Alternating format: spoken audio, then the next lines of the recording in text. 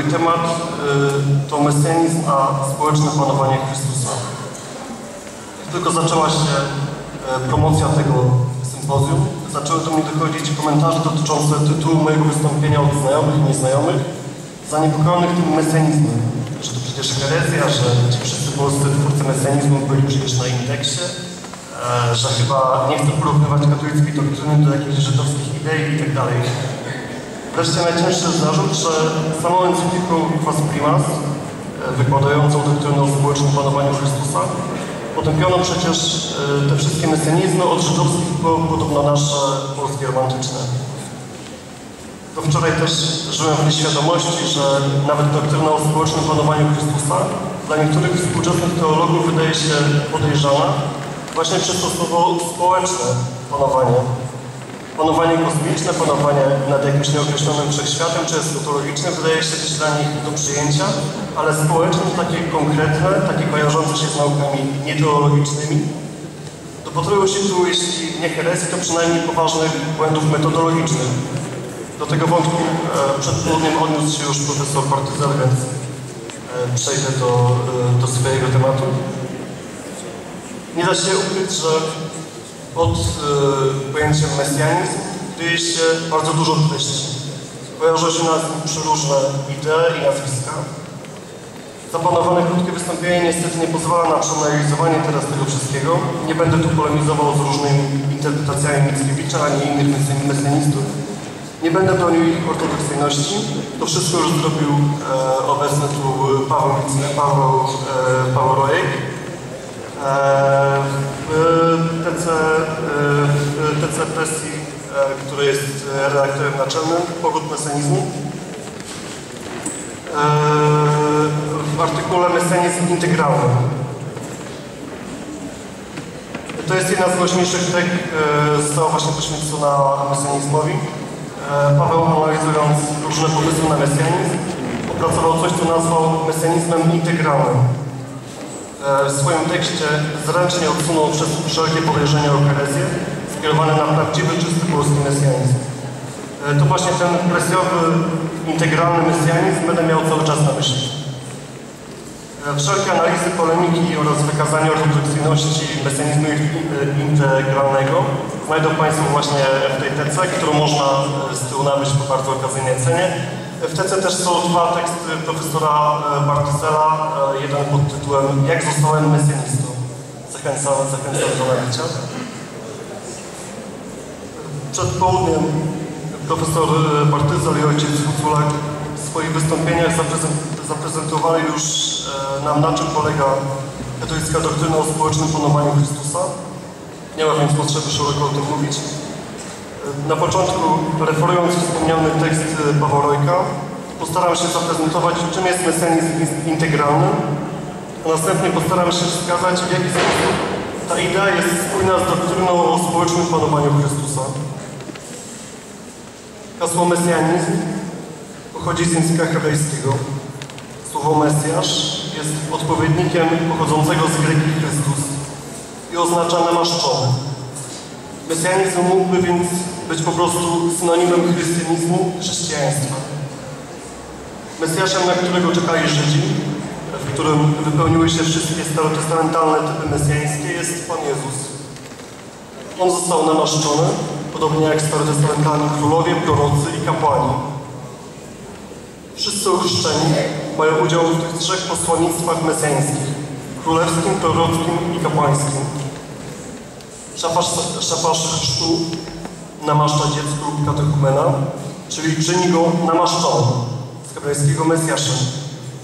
Każdy ochrzczony jest namaszczony, a więc jest Mesjaszem, czyli jest powołany do realizacji w swoim życiu wspomnianych mesjańskich posłannictw.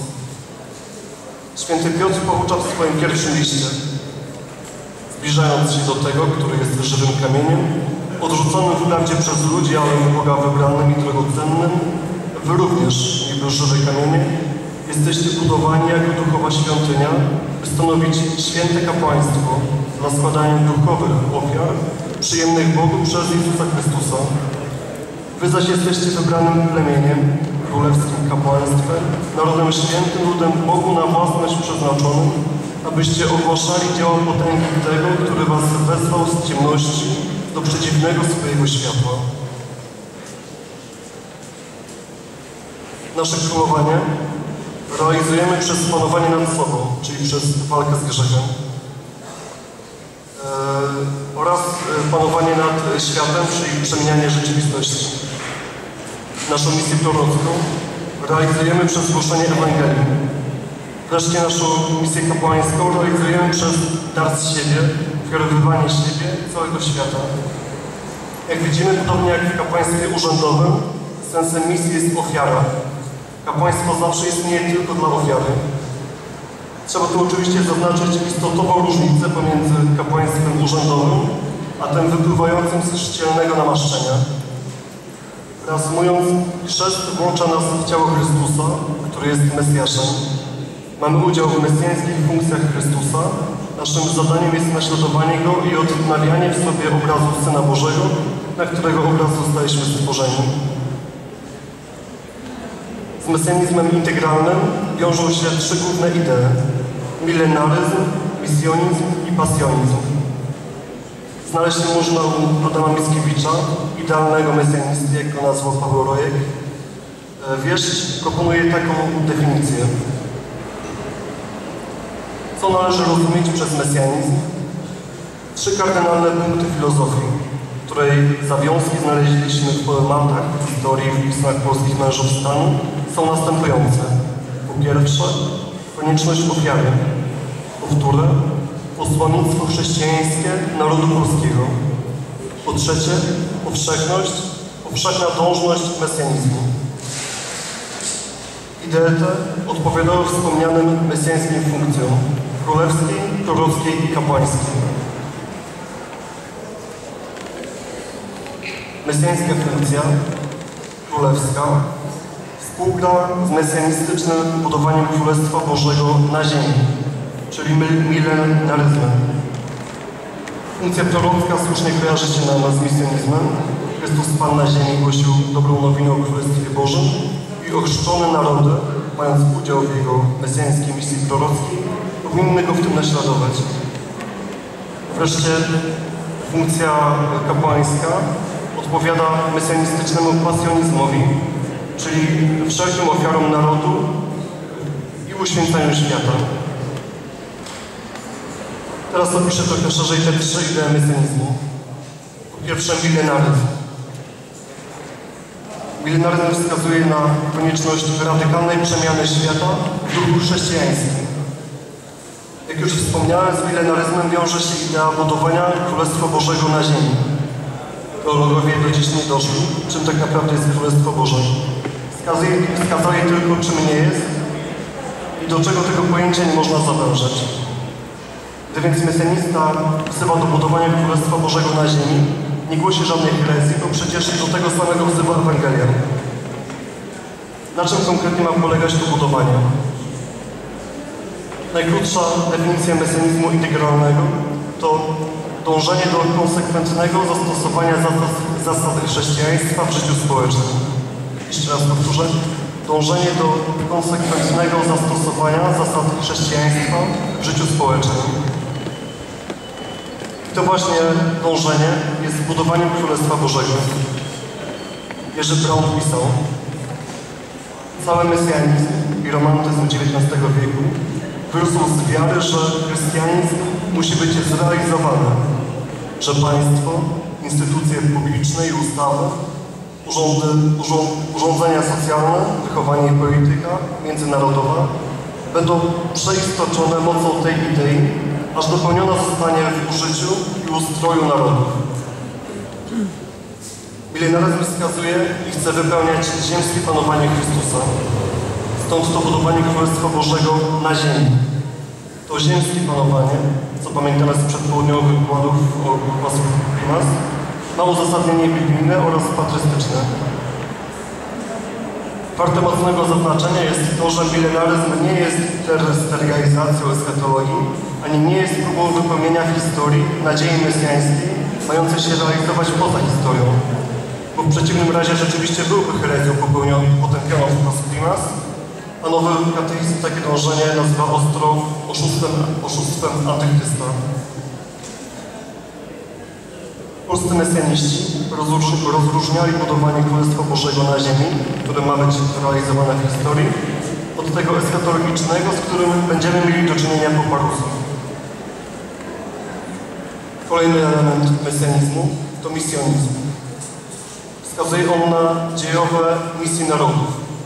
Tu kojarzyć nam się mogą różne misje przypis- przypisywane Polsce, na przykład pokojowe nawracanie narodów czy obrona przed islamem. Kojarzyć się też może wybraństwo narodowe. Wiemy na przykład z objawień świętej Faustyny Kowalskiej, że przecież to Polskę Pan Jezus szczególnie umiłował i jeśli posłuszna będzie Jego woli, wywyższona zostanie w potędze i świętości. Z niej wyjdzie lista mająca przygotować świat do paruzji, czyli nastania ostatecznego, eskatologicznego Królestwa Bożego. Narody mogą mieć różne misje, jednak wtedy one są mesjanistyczne, gdy polegają na budowaniu Królestwa Bożego na ziemi. I ostatni pasjonizm uznaje wartość cierpienia zbiorowego oraz szuka jego sensu. Przyjęcie cierpienia nawet po fakcie przemienia je w ofiarę. Nie wiem, czy to już jest dla Państwa wystarczająco widoczne, ale tak ujęty mesjanizm integralny polskich mesjanistów to po prostu katolicka nauka społeczna, wypowiedziana zanim zrobili to papieże. Możliwe też, że papież Leon XIII inspirował się polskim mesjanizmem za pośrednictwem jego przyjaciela i bliskiego współpracownika, zmartwychwstańca księdza Piotra Semenko. Jerzy Braun wyraźnie wskazuje, że polski mesjanizm wyprzedził doktrynę Piusa XI o społecznym planowaniu Chrystusa. Cytuję. Nasi tak zwani romantycy podjęli bój o społeczne panowanie Chrystusa, wtedy jeszcze, gdy trwał psychiczny terror oświecenia i w narodach katolickich było o tej sprawie głucho. Znając doktrynę o społecznym panowaniu Chrystusa, z pewnością nie było trudno wyłapać z tego krótkiego referatu elementów wspólnych z mesjanizmem. Zanim przejdę do podzielania się skojarzeniami, chciałbym chwilę zatrzymać się przy społecznym panowaniu i pewnych kontrowersjach związanych z tą doktryną. Drugi Sobór Watykański oczywiście nie mógł zmienić tej doktryny i nie zrobił tego. Przeciwnie, często kojarzona jako sprzeczna z przedzborowym magisterium deklaracja Dignitatis Humana, wyraźnie stwierdza, że pozostawia ona tradycyjną naukę nienaruszoną. Nowy katechizm również powtarza tę doktrynę jako aktualną i obowiązującą. Zacytuję cały punkt 2005, 2105. Obowiązek oddawania prawdziwej czci odnosi się do człowieka w wymiarze indywidualnym i społecznym. Jest to tradycyjna nauka katolicka o moralnym obowiązku ludzi i społeczeństw wobec prawdziwej religii i jedynego Kościoła Chrystusowego. Prowadząc nieustanne dzieło ewangelizacji, Kościół pracuje nad tym, ludzie starali się o kształtowanie w duchu chrześcijańskim sposobu myślenia i obyczajów, praw oraz ustroju własnej społeczności. Obowiązkiem społecznym chrześcijan jest szanowanie i pobudzanie w każdym człowieku miłowania prawdy i dobra. Wymaga on od nich, by przyczyniali się do rozpowszechniania jedynej prawdziwej religii, która istnieje w Kościele katolickim i apostolskim. Chrześcijanie są powołani, by być światłością świata. W ten sposób Kościół ukazuje królowanie Chrystusa nad całym stworzeniem, szczególnie nad społecznościami ludzkimi. Koniec cytatu. Doktryna o społecznym panowaniu Chrystusa zawarta jest również oczywiście w liturgii, ale także w pobożności ludowej, szczególnie w tradycyjnych pieśniach. Ojciec Benedykt Kuculak przywołał już yy, piękną, do dziś chętnie śpiewaną pieśń My chcemy Boga Panna Święta, która dobrze opisuje, na czym polega omawiana doktryna. Jest znana, ale pozwolę sobie jeszcze raz przytoczyć fragmenty zwrotek. My chcemy Boga w rodzinkole, w troskach rodziców, dziadnych snach, w książce, w szkole, w godzinach wytchnień, w pracy dniach, w wojsku, w sądzie, w rozkazach królów, w księgach praw. My chcemy Boga, Jego prawo niech będzie naszych czynów tchem, byśmy umieli chętnie, żwawo ubierać dobre, gardzić złem. Ta pieśń pasuje na hymny tak mesjanizmu, jak społecznego panowania Chrystusa. Żeby zaoszczędzić trochę czasu na ewentualną dyskusję, wypunktuję tylko, e, tylko główne skojarzenia wskazujące na spójność między mesjanizmem a doktryną o społecznym panowaniu Chrystusa. Po pierwsze, jedno i drugie jest doktryną nie tylko religijną, ale społeczno-polityczną. Drugie, w każdej z doktryn chodzi o realizację chrześcijaństwa w świecie. Po trzecie, każda z doktryn mówi o Królestwie Bożym i Chrystusie Królu. Po czwarte, społeczne panowanie Chrystusa, podobnie jak idea mesjanizmu, nie jest dane, lecz zadane do realizacji. Po piąte, społeczne panowanie Chrystusa, tak jak mesjanizm integralny, to określenia, które nie padają dosłownie w magisterium Kościoła, ale mieści się w nich i wypełnia katolicka nauka społeczna. Robert Meder w książce Chrystus Wielki Monarcha napisał Wszystkie święta Pana to święta katolickie, lecz może święto Chrystusa Króla wolno nam będzie określić jako najbardziej katolickie ze wszystkich. Jak mówi Ojciec Święty Pius XI w swojej encyklice Quas Primas, wszystkie w ciągu roku kościelnego wchodzone tajemnice Chrystusowego życia koronuje święto Chrystusa Króla. Królestwie Chrystusa spoczywa centralnie, niby w słońcu, całe chrześcijaństwo. Więcej powiedzieć nie można. Nie wolno jednak również powiedzieć mniej. Dlatego nastawanie, nastawienie do idei absolutnego i powszechnego królowania Chrystusa jest w pewnym znaczeniu cechą i znamieniem katolicyzmu jakiegoś narodu i jakichś czasów. Zaprezentowawszy naszą ideę mesjanizmu integralnego i jej związek z doktryną o społecznym panowaniu Chrystusa, w ostatnim zacytowanym zdaniu o idei królowania Chrystusa śmiało dodałbym mesjanizm, mesjanizm integralny jako cecha i znamię katolicyzmu danego narodu. Bardzo dziękuję za uwagę.